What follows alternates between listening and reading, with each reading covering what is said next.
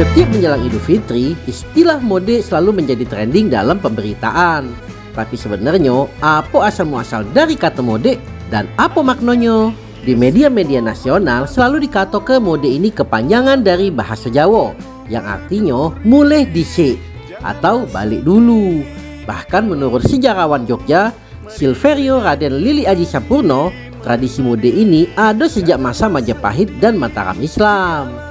Tapi pastinya terdapat persepsi yang berbeda di Palembang, Sumatera Selatan bahkan di rumpun Melayu mengenai makna mode dan muasal dari mode ini. Dan persepsi dari Palembang besar kemungkinan istilah mode ini dari Palembang.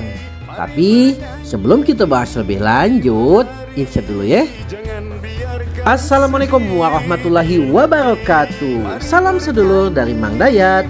Mohon dukung Mang Dayat untuk selalu ngangkat dakwah, sejarah, budaya dan wisata kota Palembang dan Sumatera Selatan pada umumnya dengan mensubscribe dan klik tanda loncengnya.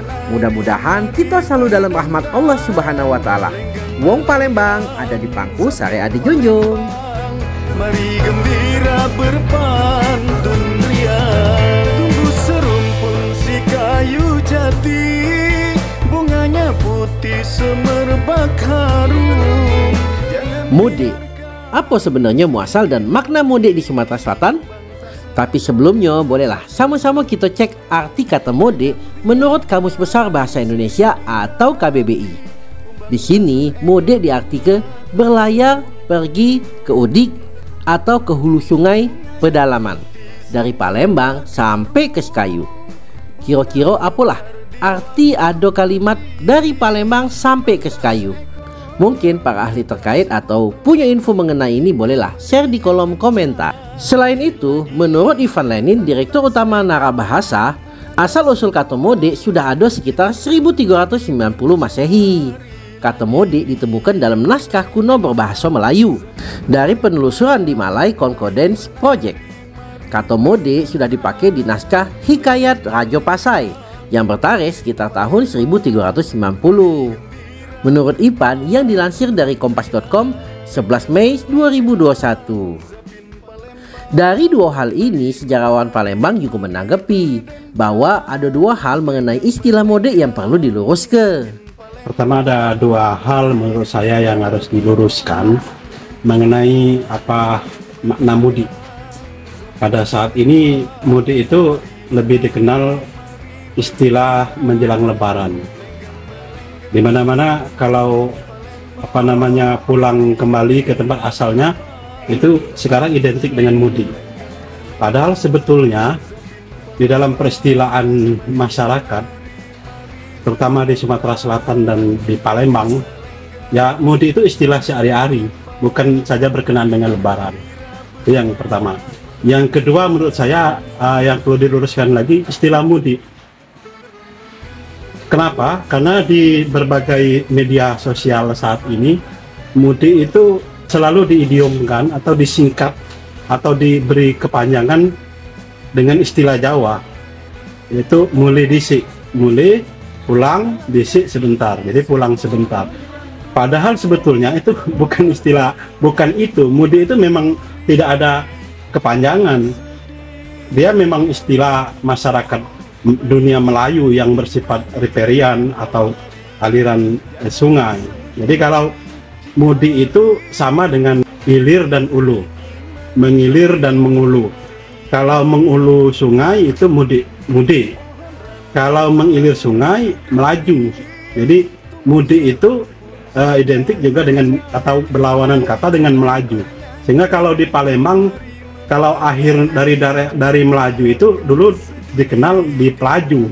Makanya setiap dari uh, Komering Sungai Komering terakhir kalau mau ke Palembang itu atau di daerah Ilir itu di daerah Pelaju melaju dari perkataan itu. Jadi menurut saya ada dua hal itu yang harus diluruskan bahwa mudik dan itu tidak identik dengan lebaran. Kemudian mudik bukan istilah dari Jawa tapi dari Sumatera Selatan bahkan dari Palembang menurut saya jati Bunganya putih semerbak harum Jangan biarkan sedih di hati Kumbang tak seekor bunga tak umumnya, dalam perspektif di Sumatera Selatan, kata mode adalah kata asli Melayu termasuklah Palembang.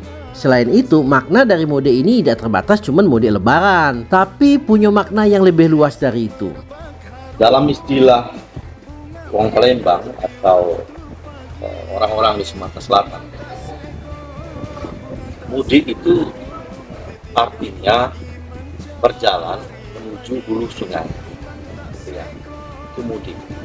Kalau ke arah hilir, artinya milir gitu artinya kalau di Palembang ini kan hiliran ya daerah hilir kalau mau ke Lahat misalnya maka orang Palembang mengatakan mau mudik ke Lahat itu nah orang Lahat mau ke Palembang mengatakan bahwa dia akan milir ke Palembang.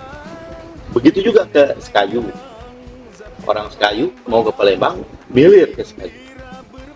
Meskipun uh, dia misalnya memang tinggal di Sekayu berbeda dengan pengertian sekarang pengertian sekarang itu orang pulang ke tempat asalnya. Meskipun asalnya bukan di daerah Ulu itu disebut mudik juga. Misalnya ada orang yang merantau dari Jawa ke Palembang. Pada saat lebaran dia mau mudik ke Jawa. Nah itu tidak mengena dalam istilah uh, Palembang. Kalau dia ke Jawa bukan mudik namanya tapi belayar atau menyeberang ke Jawa. Atau ke tempat lain misalnya tidak juga mudik gitu. Ke luar negeri bertambah lagi bukan mudik. Karena sekali lagi istilah mudik itu ya ya kalau menghulu sungai tadi. Dalam istilah besemah ya orang-orang besemah atau pahlawan kalau mau pulang sementara misalnya ada anak yang kuliah di Jakarta misalnya nah pada saat lebaran dia kan dia pulang dulu sementara ke Palembang maka dia disebut belanja ke Palembang Maraknya kata mode diprediksi dimulai masa Orde Baru sekitar tahun 1970. Di masa ini banyak yang merantau dan begawi jauh dari kampung. Pada saat Idul Fitri adalah momen untuk balik kampung. Peristiwa mode ini didominasi dengan pemudik yang menuju ke Pulau Jawa. Mungkin karena inilah muncul istilah mulai dhisik. Namun menurut versi bahasa Betawi, mode ini berasal dari bahasa Betawi yaitu kembali ke udik. Dalam bahasa Betawi, udik berarti kampung. Melayu misalnya, orang-orang Betawi katakanlah ya, menyebut eh, pedalaman itu udik atau dusun-dusun yang pedalaman itu udik karena memang lokasi dusun-dusun itu berada di umumnya itu di hulu-hulu sungai. Kalau di muara-muara sungai, karena dulu transportasinya adalah sungai, biasanya adalah tempat transaksi jadi tempat orang-orang bertemu. Jadi kota-kota itu di umumnya di muara ya kan? Nah, jadi orang asal katanya UD jadi kalau disebut orang UD uh, dalam konotasinya itu seperti kampungan gitu ya dalam konotasinya itu. Tapi sebenarnya UD uh, tidak terstigma seperti ya UD ya UD hulu gitu ya nah kata kerjanya kalau kita mau ke UD ya gitu Nah, kalau kau mau kau uh, ke muara, milir kan, asal katanya hilir gitu. Jadi hilir mudik kan sering kita dengar, hilir mudik gitu. Jadi menghilir mudik. Palembang,